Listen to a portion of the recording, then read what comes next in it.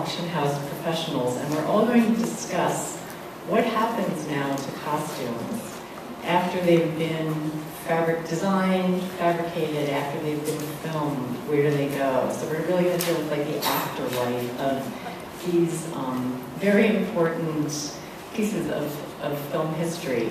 Um, so I would like to introduce our speakers and give them a few minutes to introduce their institutions because they all have really interesting institutional affiliations.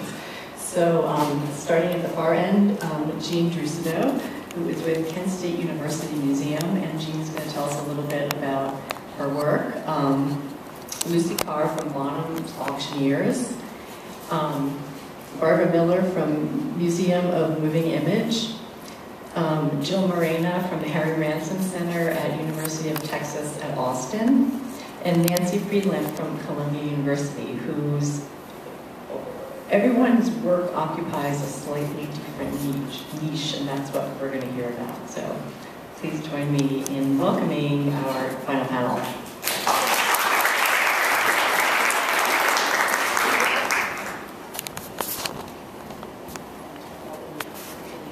on